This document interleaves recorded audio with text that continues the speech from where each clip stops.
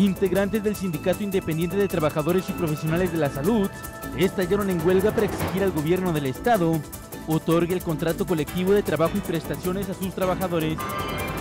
En el municipio de Oaxaca de Juárez hay más de 20 colonias consideradas como de alto riesgo en temporada de lluvias, alertó la Coordinación Estatal de Protección Civil de Oaxaca.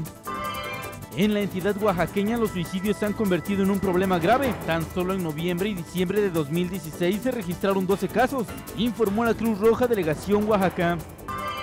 Más de 2.000 parejas han contraído matrimonio en las bodas colectivas de Oaxaca como parte del programa Febrero, Mes del Amor y del Matrimonio.